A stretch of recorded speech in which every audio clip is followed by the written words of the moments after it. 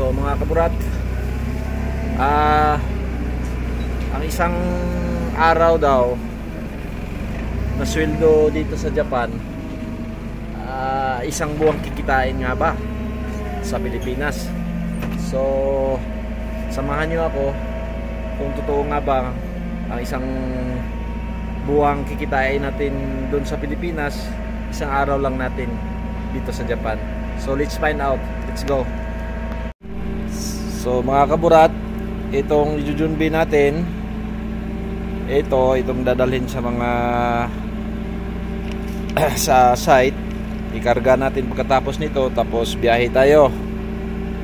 So medyo marami-rami din to, mga kalahating araw o hmm, hanggang alauna yata to, alas dos ng hapon. So pagkatapos nito, ito, ikarga natin tapos dadalhin natin sa site. So let's go. Let's do this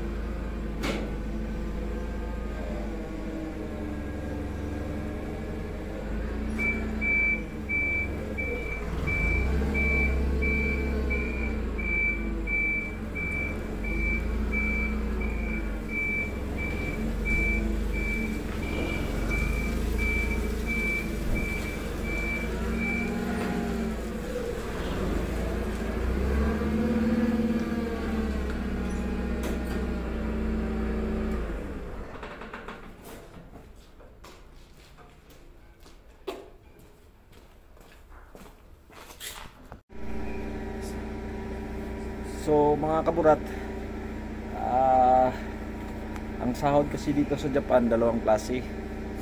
So dalawa ding tatlong klase din yung trabaho natin dito sa Japan. Either sa Kojo, Ginba, at saka mga driver. So iba-ibang sahod nun per day. So meron ding minimum sila dito katulad sa atin, Luzon, Visayas, Mindanao. Dito Tokyo, Osaka ay chicken Nagoya Meron ang ay chicken parang Nagoya yan. So, iba-iba ang sahod din. May mababang sahod, may mataas na sahod. So, mga kaburat, uh, katulad sa Pilipinas, halimbawa sa Mindanao ka, medyo mura-mura ang sahod doon. Sa Visayas, medyo mataas-taas konti. At sa Manila, medyo mataas-taas konti So katulad din dito mga kaburat, uh, ang pinakamataas yatang sahod dito doon banda sa Tokyo kasi ang pag-uusapan yan ay seikatsu. Ang tawag ng seikatsu yan yung pamumuhay dito sa Japan. Mahal ang kurente, tubig, ilaw, gas, lahat mga mahal kaya mahal ang sahod doon. Dito naman sa ay chicken, medyo isang araw nila dito ang pinaka mataas na sahod depende na rin sa trabaho mo. Kung grabe yung trabaho mo eh, ang isang araw ay pinakamataas ichimang gosen chimang roxin guray. So yun mga isang araw isang lapad kalahati o isang lapad isang libo isang lapad tatlong libo.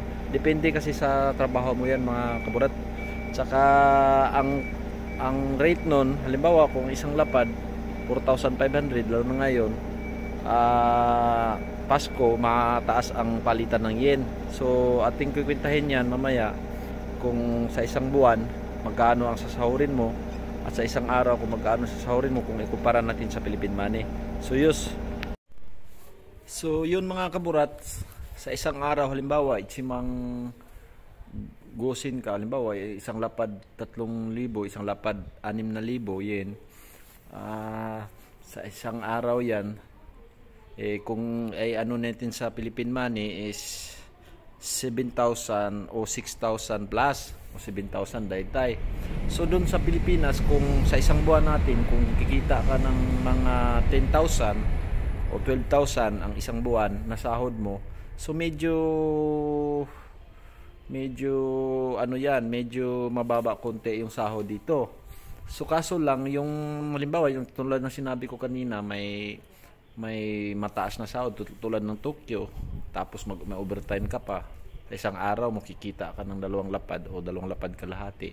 Medyo mas mataas-taas ikumpara. So sa isang araw na sahod dito sa Japan pwede ding isang buwan natin makikita dito doon sa Pilipinas. Pero halimbawa kung dito ka namumuhay dito ka may, may pamilya o dito ka lahat. So sa isang buwan mo, parehas lang sa Pilipinas. Dito sa Japan kasi ikaw bayad lahat, tubig, ilaw, gas, lahat, hukin, mga insurance. Kung may sasakyan ka, gasolina, may insurance pa yung sasakyan mo. Lahat babayaran mo. So dahil tayo issue guray lang. Mga pari-pareha lang ang sahod sa Pilipinas at saka dito. Pero mas malaki-laki kumbaga dito sa Japan. Kung doon gagastuhin natin ang Pilipi ang sahod natin dito sa Japan, doon natin gagastuhin sa Pilipinas. So yun lang mga kaburat, medyo mahirap kwentahin. Pero lahat gagawin natin para lalo na dito tayo sa ibang bansa dito tayo sa Japan so inasanggan bati ko dasay shout out sa lahat. Yup